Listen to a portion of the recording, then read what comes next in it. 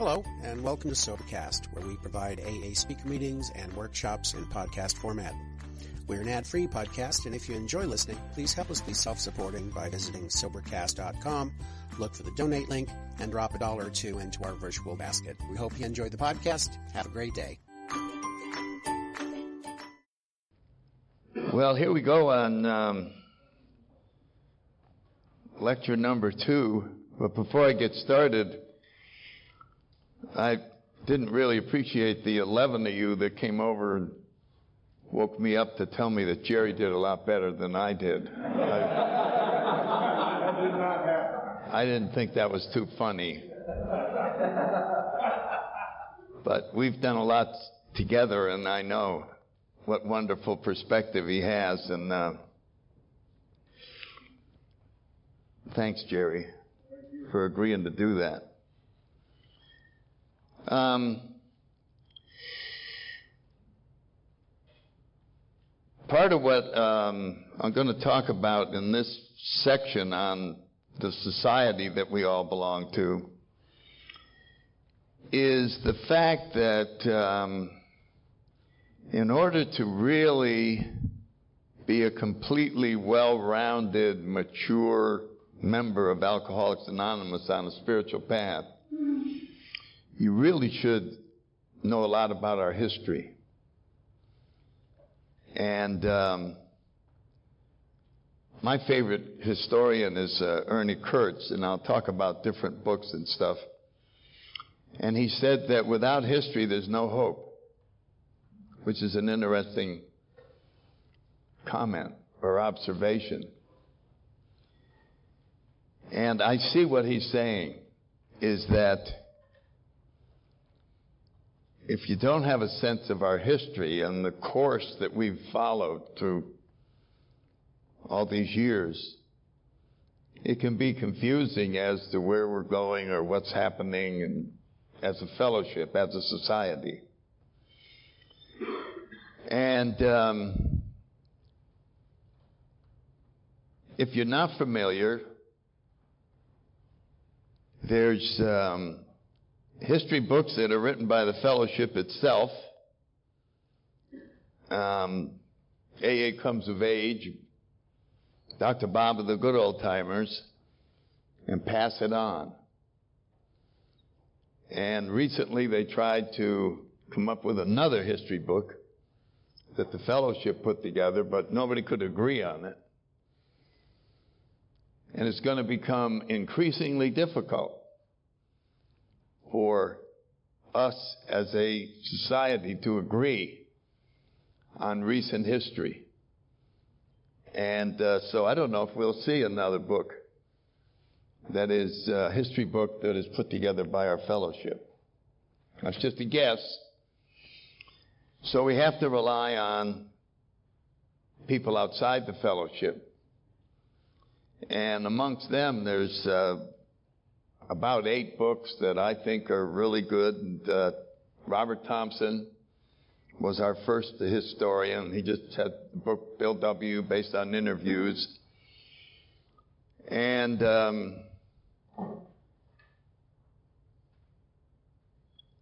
the advantage of um, outside history books is that if they see something that deserves some criticism, they're going to include it. Whereas when you write your own history, you leave that out. Just out of modesty or something, you just don't want to include certain things. And so there's a, a plus to both. And um, Bill spent a lot of time writing AA Comes of Age. And it followed a theme that he had, which I call a rush towards maturity. He just wanted somehow to have alcoholics, recovered alcoholics, and Alcoholics Anonymous. When people think of us, he was hoping they would think immediately of very mature people.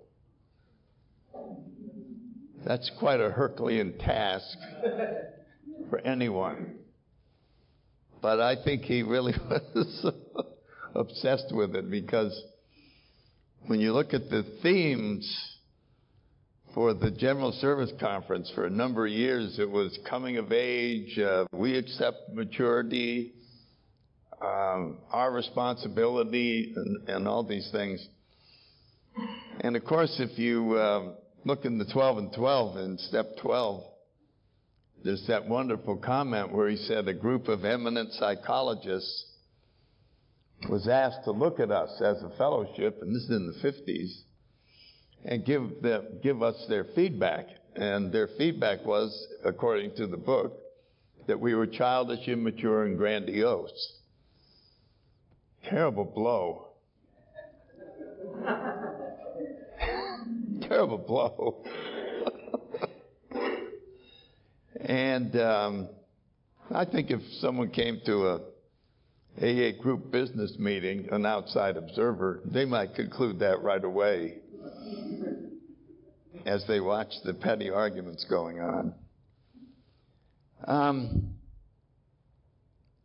and so, and Dr. Bob and the good old timers obviously focuses more on Dr. Bob. And um, they have the great photographs, and it gives you a sense of where you came from. Who put this stuff together that led to your sobriety? And Pass It On is about Bill. And there's more emphasis about his work, photographs, etc. And um, we're also blessed with a number of movies. The first one with James Garner and James Wood. And recently I saw the Bill W. movie that I thought was just wonderful. And uh, so these are all part of uh, the history that's available that as you move along in AA, it really is necessary, in my opinion, to be a good sponsor, to be a um, someone who is worth following. I don't want to say a leader, but someone who has got the complete roundedness to um, help set the tone in your home group and to um, have some wisdom that is based on familiarity with, with our history. Now, my favorite, and I brought these two books along, is Ernie Kurtz. And he wrote this first, this was the first one. I'm, I'm preserving the dust jacket because this is the first printing. And it goes from the AA's origin up to shortly before Bill died. And Ernie was a student at Harvard and wanted to do a PhD on Alcoholics Anonymous. And uh, they said, yeah, go ahead. So he went down to New York and asked if he could have access to all our files, and they gave it to him, which is amazing because he was able to see in there things that hadn't been reported in other history books and he included them. This book is also by him, and it's called AA The Story, and it picks up where this book leaves off. So it goes from shortly before Bill's death to 1987. So since 1987, that's 25 years. Um, without this type of history. I don't know if Ernie's going to or is up to doing anything like this. Now, these are quite detailed. It's a PhD, so there's more footnotes almost than there are text. And as you get more familiar with this, you find the footnotes are more fascinating in some cases. He just dug out things that are um, quite remarkable. As the history sinks in, it serves as a navigational guide because you can just see here's the path. And it started here, and we're here, and you can see that if we follow the same principles, it'll just continue on. And it gives you a sense of um, being comfortable where we are. So, in order to get this thing started, just to see how exciting we can make this talk, I prepared a list of history questions that I'm going to ask you all. And I was going to have it be a contest between this side of the room and this side of the room. But we can see that all the smart people are on the same side of the room. So it, it wouldn't be fair to do that. So we're just going to open it up to anybody that want to raise their hand, just for the fun of it. And if you get it wrong, who cares? Some of them are very simple, and others are so obscure. I'm going to have to read the answer off the page. Okay, here we go. We need some volunteers. Our co founders are William G. Wilson and Robert H. Smith. What does the G and H stand for? Bingo. Griffith, right off the bat, a winner. Thank you. Did you get that? Middle initial. Okay. Now we're going out to Akron. Reverend Walter Tunks was the minister Bill called from the church directory in the Mayflower that led to the meeting with Henrietta Seiberling and Dr. Bob. What other two roles did Reverend Tunks play in our history? Ah, it got a little harder. Nobody? Even Bob? Okay, he conducted Dr. Bob's funeral service. And his church was the one selected by Firestone to have the Oxford group come to Akron, which was a big deal. So he was very involved with the Oxford and AA and a great lover of uh, AA. All right. I don't think anybody will know this one. Lois's grandfather was a minister in a certain religion. Bill and Lois were married in a church of this religion. Oh, I see the hands going up. What religion was this? Swedenborgian. Swedenborgian. Everybody's heard of that, right?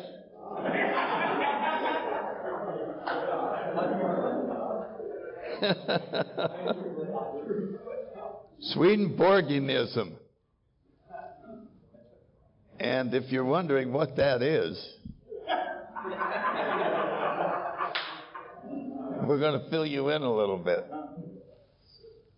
In the 1700s, in Sweden, a man named Swedenborg was a regular guy. He had a job. He's about 52 or 53 years old. And God started talking to him. And he didn't really go and tell anybody. He just wrote down everything that he received over the next 15 years. And um, as he got older, he shared his notes with people. He had no intention of doing anything with it. But after he died, people said, "Hey, we got uh, we got a new religion here. This came from God." And uh, it had all kinds of um, differences with Christianity. the second coming had already occurred and this was going to happen. And uh, boy, the religion took off. And, you know, it came over here, and went to a lot of different countries, and it has, there's still some of it left under a different name. We found a church near Tampa, and I forget what it is, the new whatever. Okay, what state were Bill and Bob from? Boy, the whole room knew that one. What is AA's founding day birthday? All right, we got that. How about? Dr. Bob had AA's first slip while doing what? Medical convention. what was it? Drinking, yes.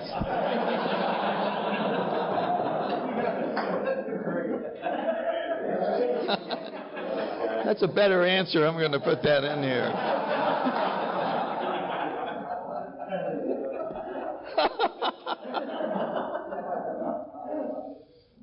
All right, you guys.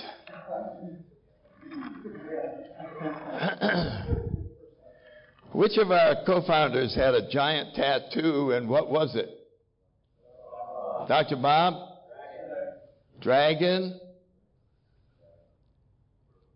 A large blue dragon that went around his whole left arm with red fire and a 16 point compass. And the rumors were that he got it while drunk at Dartmouth.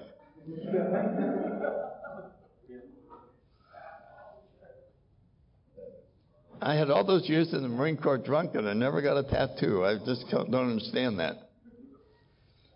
All right, let's go to Clarence Snyder. We're halfway through. Why did Clarence Snyder disobey his sponsor, Dr. Bob, and leave the Akron Oxford group meeting to commence a separate meeting in Cleveland, Ohio? Catholics, that's right. Everybody hear that? Clarence was uh, a champion 12 stepper, and he was rounding up guys from Cleveland, new alcoholics, and bringing them down to the meeting in Akron. And a heavy percentage of these guys were Catholic. And when they got sober, the priests wanted to know what happened you know, Larry, what's going on? You look wonderful. Oh, I'm going to Oxford meetings in Akron.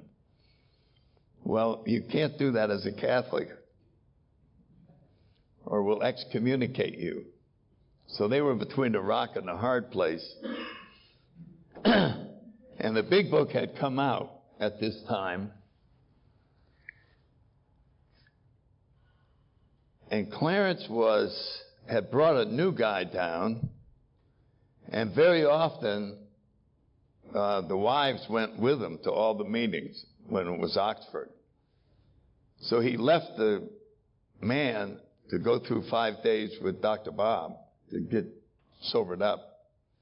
And on the way back, he's commiserating with the man's wife that he's got these Catholic guys and he can't keep bringing them down there. So he, he'd like to start a separate meeting from Oxford so that the priest wouldn't give him a hard time. But he had no place to hold the meeting. And the wife is thinking, gee, if I volunteer my home, my husband will have no excuse for not going to the meeting because it'll be in his own house.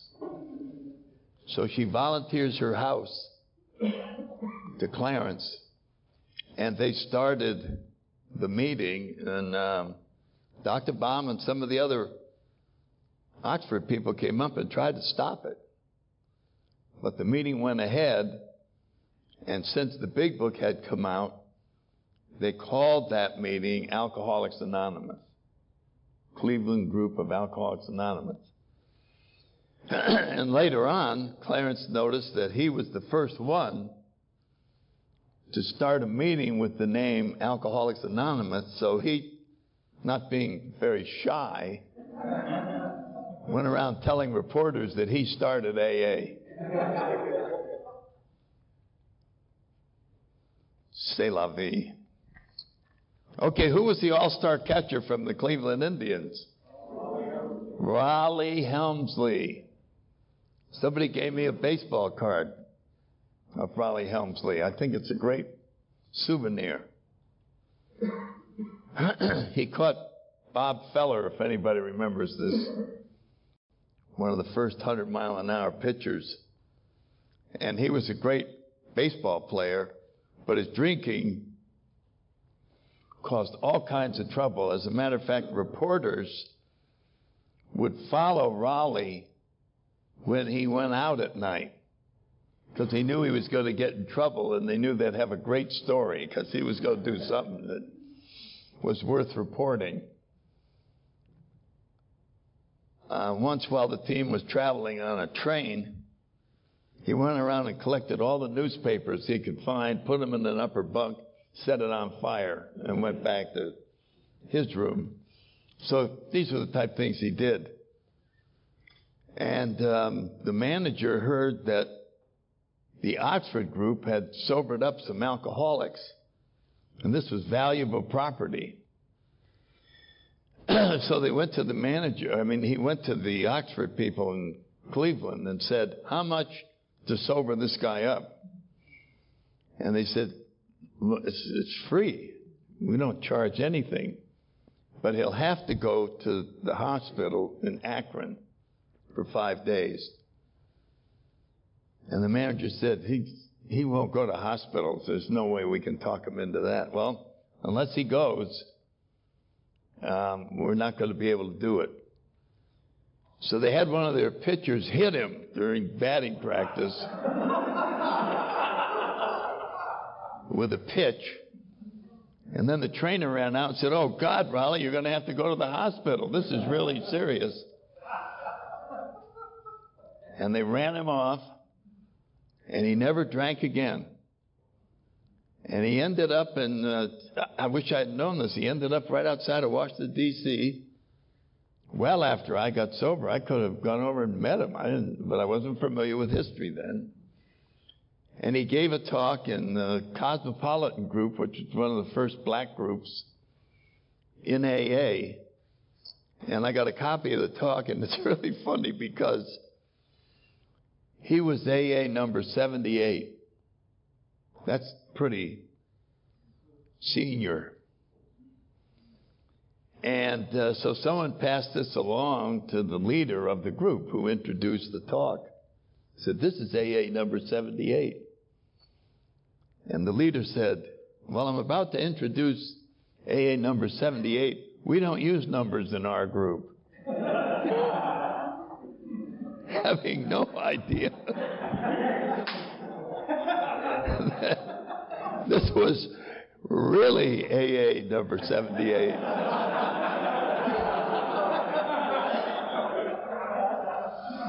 and he gave a wonderful talk. Now, the reason, and this comes out a little bit later in another question, the reason he was important was once he got sober, the reporters had no one to follow. All the excitement was gone, and his batting average was way up. He wasn't making any errors, and they wanted to know how this was possible. And so, in a press conference, he announced that it was possible because I joined Alcoholics Anonymous.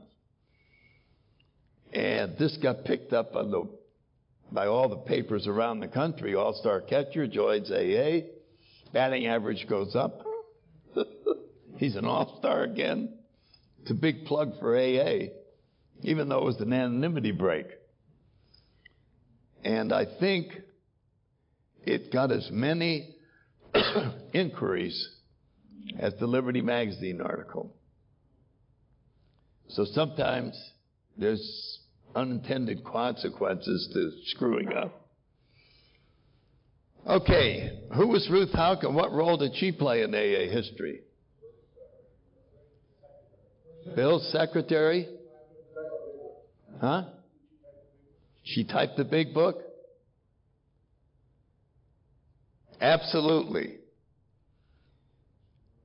When Bill, when he got um, Hank Parkhurst sober, who was one of the early AAs in New York, Hank, yeah, he had, um, Hank wrote the chapter to the employer in our big book, and it mentions in there that he was employed in a large corporation, that had 3,500 people, I think it's 3,500, working for him. And then he got fired by Standard Oil. And he got a little resentment about that with his drinking and everything, so he started a little co op in New Jersey. I think it was Honor Dealers or something like that. And Ruth Hock he hired as his secretary, and he was going to get gasoline stations and distributors in his area and form a co op where they'd be able to buy at discounts and eventually get even with Standard Oil. Yeah, sure. So he hired Bill. He said, Bill, you don't have a job. Come on over, and the two of us, we're great salesmen. We're going to corner the market. And Ruth Hock said that she was hired over there. Nobody sold anything. And uh, that they just kept bringing drugs in. And they'd be in the back sobering them up. And then they decided to write the big book. And Bill would stand over dictating to her. And she, um, sometimes they didn't have enough money to pay her, so they'd give her stock certificates in Works Publishing, which had not yet been incorporated. Here, Ruthie, here's 25 shares of stock for your thing. Well, anyway, unfortunately, Hank got drunk. He fell in love with her and wanted to leave his wife and all this. And when she turned him down, he just lost it. Got a big resentment. He thought Bill talked her into not marrying him. And went up to Cleveland and started really bad mouthing what was going on in New York. That Bill was going to make a fortune off the big book and money was being stolen and all this. And um, he and Clarence Snyder created such a stir up there that the uh, Cleveland contingent demanded that they bring the records up. That's not an easy thing to handle if you're Bill Wilson. And he brought the records up. And after everybody examined them, they saw that they were broke. Nobody was stealing anything and they actually apologized. While we're on that, once the the stock shares were divided between Bill and Hank and the members that bought them, and once the book caught on and they saw that AA was really going to be a significant success, they wanted to get the stock certificates back so that the fellowship could own them. We would own our own book. And most of the members were glad to give it back, but they got paid for it. But Hank didn't want to give his back. And if he didn't give them back, we, I don't know where we'd be in terms of our book. But he came into the New York office on a tear, complaining about something, and uh, he looked at the furniture, and it was his furniture from the oil company over in Philadelphia. He said, You stole my damn furniture. And Bill said, Well, if you give me the stock certificates, I'll give you your furniture back in 200 bucks. And he took it. And that's how he got ownership of our big book. All right. During the period 1939 to 1941, a major effort was made by AA. Boy, my voice is gone. You, you guys are lucky. To secure publicity for AA and the big book. Some of these occurred on their own. It's just what were the, these major publicity that occurred between 1939 and 1941. the Cleveland Plain Dealer. That's a newspaper in Cleveland. Yes. Jack Alexander, Saturday Evening Post. On the radio, Gabriel Heatter on the radio. Rockefeller dinner. The postcards were connected to Gabriel Heatter. That, that was where they were announcing it. There was this one Irish guy, Ryan, who knew Heatter. And Heatter was a um, famous radio broadcaster and um, in his little show, he would have a two or three minute interview with somebody. And Ryan was able to get him to book him. But Ryan kept getting drunk. And Bill was a little worried that he wouldn't show up for the radio show. So they put him in the YMCA in New York City with AA guard around the clock until the radio show took place. And they sent out the last $500 was postcards to all the doctors east of the Rocky Mountains, telling them about this new fellowship. Tune in to the Gabriel Heatter show. Hear all about how to sober up your alcoholic patients and get the book Alcoholics Anonymous. And when they went down to the post office box, I think they had seven postcards. A couple of them were from drunk doctors, so they couldn't read what was on them. And I think they got two orders for the book Alcoholics Anonymous, and things weren't looking good. Saturday Evening Post, I think most people know that, that the original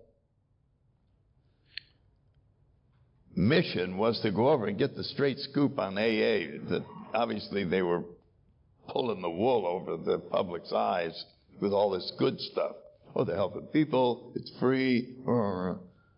So Jack Alexander would like to do exposés.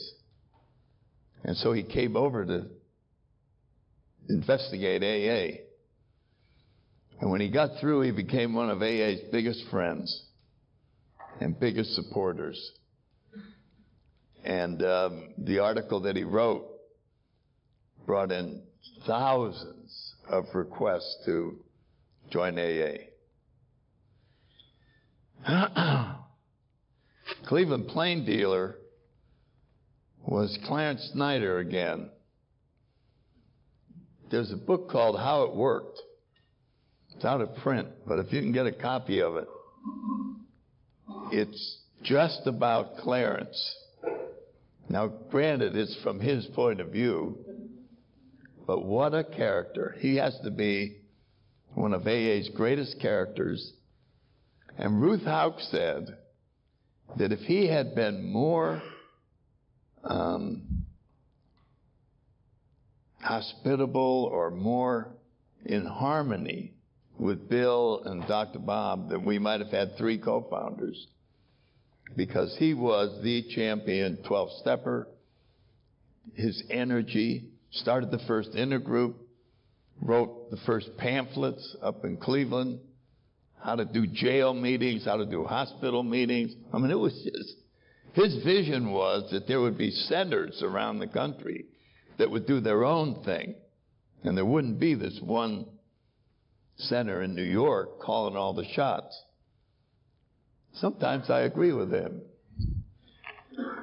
Um, Rollie Hemsley gave his Saturday Evening Post and the Rockefeller dinner.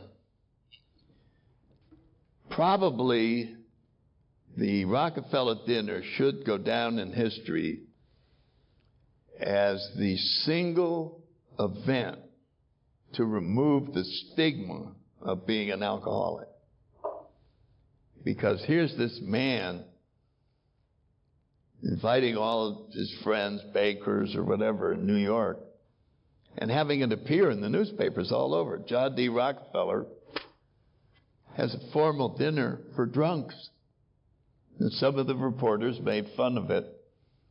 But in general, it gave legitimacy to Alcoholics Anonymous. And that is something to be very, very grateful for. And he never took his eye off of AA.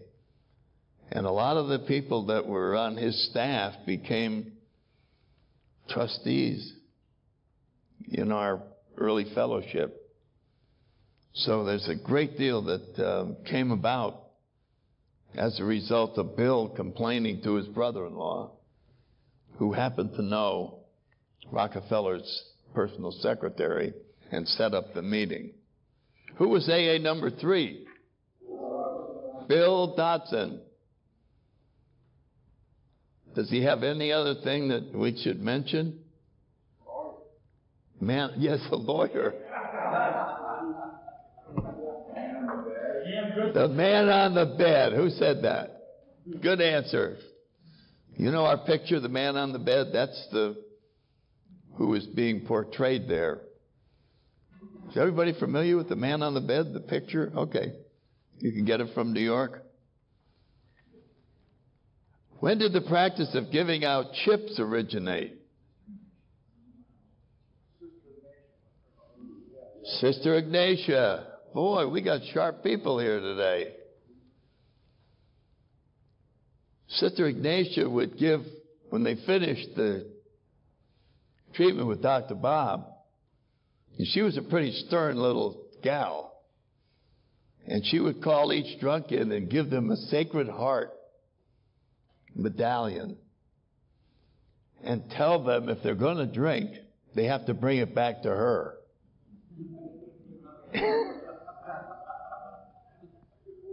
and uh, they think a lot of people stayed sober rather than go back and and face Sister Ignatia. And from that it went on. There was some silver dollars that were common in different parts of the country. And they would drill a hole in it. Guy over at uh, St. Pete, good friend of mine, on my anniversary gave me his with 50, I mean, with 48 holes in it. It's just a, quite a nice thing for somebody to give you. And of course, they don't, um, it's not the same all over the country.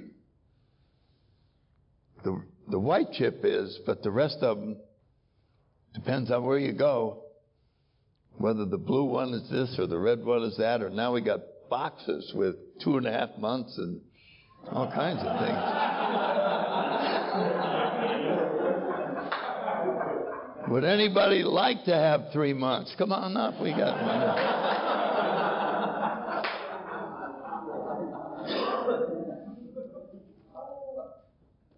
What was moral rearmament?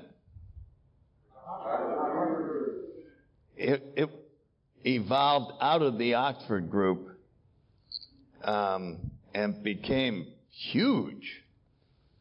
This uh, thing that Buchman got started, it, uh, they had one in um, Washington, D.C., and it looked like the who's who of America was there to continue with this. We can save the world by saving individuals morally. That if we transform individuals, we can transform countries. And uh, of course, AA is certainly based on the transformation of individuals, producing a society such as the one we're describing. It is the transformation of individuals. Why was anonymity originally adopted? I didn't hear that. Fear. Okay, fear of being overpowered by all the alcoholics that would want to join. It was an unjustified fear.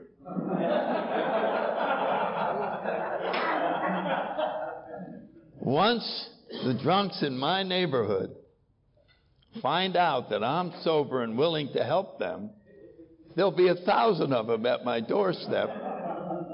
So I've got to stay anonymous for control purposes.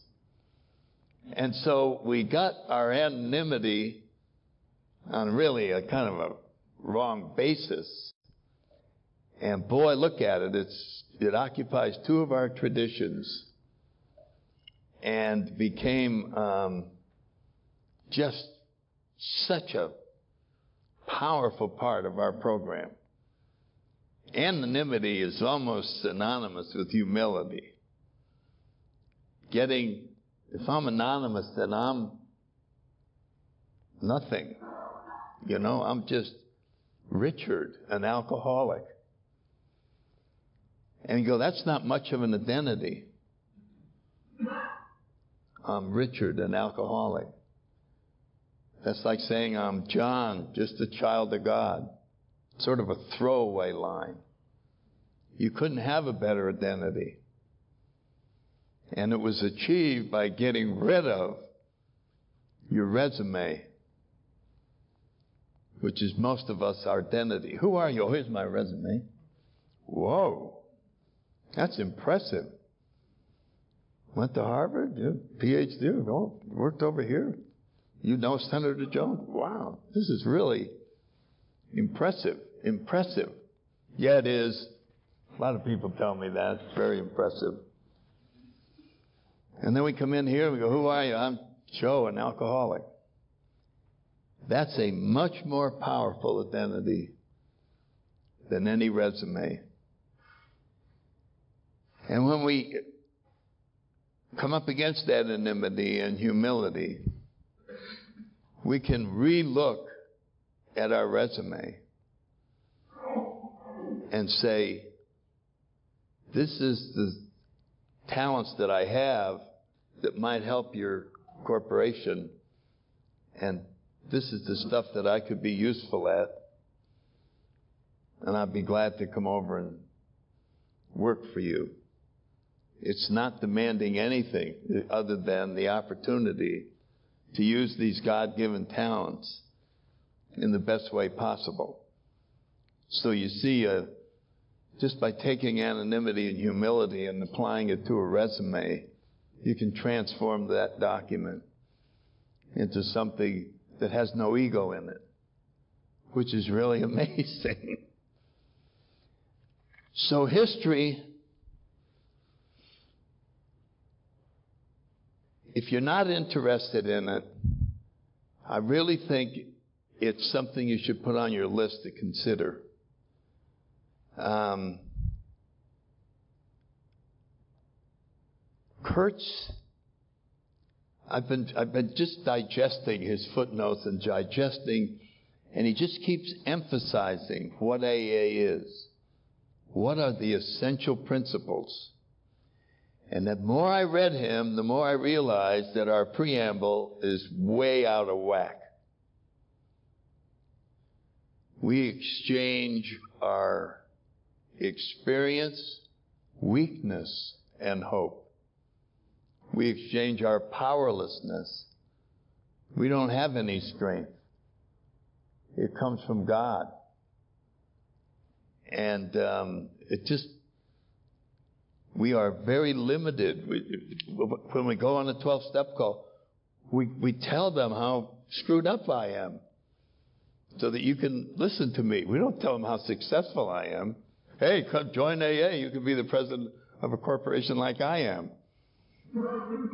And I do this and I do that. So it's really, we exchange our limitation as a human being so that the next person feels comfortable admitting that they may have some limitations.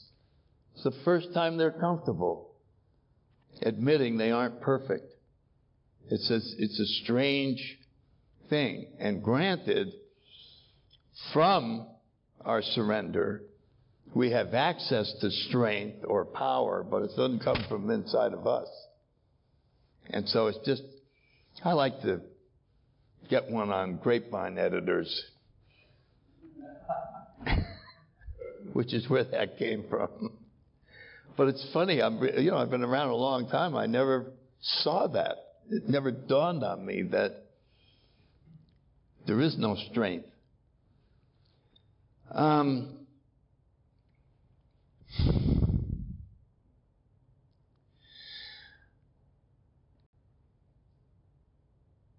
the reason I brought up history in this part, which is the second part,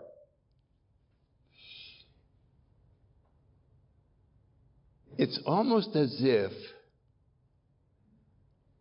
all the unanswered questions in your mind about our society can be found by studying our history. Where the same problem may have been addressed 25 years ago, and you'll be able to look at a solution. It is, um, I'll give you an example. It's accidentally, one of our little discussion meetings turned into a history meeting. And uh, it's a very simple thing to do. You just have people volunteer. They raise their hand. Okay, next Tuesday we need a volunteer. Tuesday after that, Tuesday after that. And whoever volunteered goes and researches some topic. They could have three months sobriety and they're out there researching. The internet's filled with, we got a lot of history sites, etc. Then they come back next week and they give a little 15 minute presentation Somebody came in with the Rockefeller dinner and they had the menu. And um, they just go and, and give this little presentation, and sometimes they have some handouts, pass it around. And then it's open for sharing, and a lot of the new people don't really have something, but the old timers there can fill in, and it starts developing this um, interest in history. And so I just pass it out as a suggestion because it just happened by accident. And it's very interesting to watch people. Now, one other thing, and Bob was talking about it, there's a whole website devoted to destroying AA. What's it called? Orange? A. Period orange. Yeah, A period orange. This guy's been around for years. And it's designed to um, just make it look like the worst organization and we're up to no good, and don't trust us, and we're liars. And I don't know who would spend that much energy hating AA. But there was a comedian, um, geez, I can't think of his name. And he had a line that said, No one liked me in high school because I was so popular. And maybe that's his problem. Is that when you mention AA almost anywhere, you get a favorable feedback about our society. And that can be irritating to people. You know, nothing but good news. And so I think people go out of their way to try and find something wrong. The first one I remember, we're almost out of time, was um, some psychologists wrote AA Culture cure and came up with this whole thing that it was a big cult and it didn't really do what it said it did. We have found a way to um, cure alcoholics psychologically, and they had these uh, experiments that they did and adverse reaction or whatever. And they had alcoholics sober for five years and did very careful studies. And some other psychologists, about five years later, did a study on it. And they found out that the results on how the alcoholics were doing was done by calling the alcoholic and asking him how he was doing. and some of them were dead and they were still being carried as doing well and all that. And so there, there's that aspect, but in, And the other thing I'll put in before we wrap it up, and I'll talk more tomorrow, is that AA as a society is in a bigger society. And the bigger society is not the same as it was when I came in. It's very different in terms of um, acceptance of religion, of spirituality, and so on down. Because AA was actually founded right around when Charles Darwin's ideas were being grabbed. And scientists were starting to be the ultimate word on what, this, what the universe is all about, whereas religion had been in the past. And in just the time I've been in, it's almost as if science is the new religion. It is, it holds the answers to everything about the universe and who you are and all the questions. So alcoholics coming into AA today are being influenced in a way that wasn't there when I came in. This is just a whole different thing. So when they come in and want the prayers stopped and the, all that, they have a bigger motive than anybody did in the 60s. And it's because of the peer pressure that many of them feel. The universities are just, they're just, that is the religion of the university. So when someone comes into AA from that environment, I've, I've had one gal from Harvard tell me that if her classmates found out she had anything to do with God, they wouldn't talk to her. Now that's a lot more pressure than I remember. There wasn't anything like that pressuring me. I was the one who didn't want to hear anything. But it was just that it wasn't convenient to me to hear anything. I didn't want, you know, my sponsor said, forget about the Lord's Prayer. Eventually you're going to love it. And about five years later, I loved it. I could hardly wait for the meeting to end and be part of that. It was just wonderful. And I think back, what if my sponsor said, oh, well, then we won't say it? Just look what I would have lost. But I didn't have the social background to feel that it was necessary to push for this.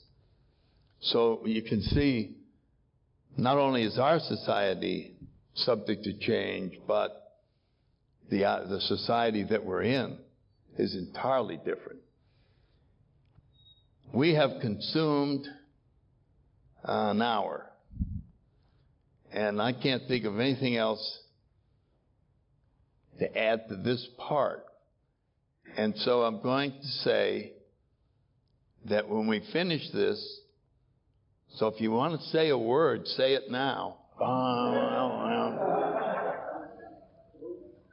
Any word at all. I want to say just a couple things if you've never experienced silence.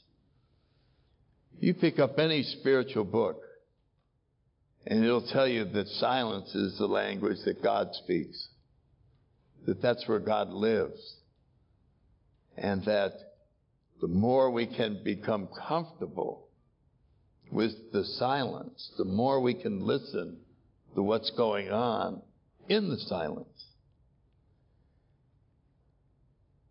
Feel free to smile at people. And if you're at dinner and you want to pat somebody on the back and whatever, it's, we can communicate with smiles or we can just stare at our dinner. Doesn't matter, either way. But if you've never done it before, I think you're going to be pleasantly surprised when the time is up and you realize that you may have learned more in this three plus hours than you've learned in the last couple months. There's a surprise waiting for you in there, so don't feel apprehensive or anything. So let's just start the silence, and I like this sign behind me, simply allow everything to be as it is. It's a wonderful thing to reflect on. And from this moment until we meet out there at quarter after eight or in here, that's it.